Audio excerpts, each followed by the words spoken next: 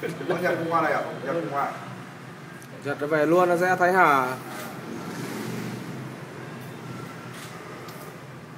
mình là chưa mua đâu, mình chưa mua rẻ. Nào đắt nhất 3 nghìn. Anh nhỉ, anh Dũng nhỉ? Đàn này con nào đắt nhất 3 nghìn đúng không? Nó là là hả chỉ có mỗi con của anh Dũng là về sau thôi, còn đâu trước con 2 nghìn mấy. Con quay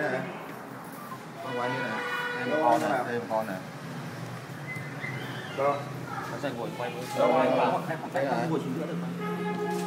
con vua bể là một này Còn uh, một tin.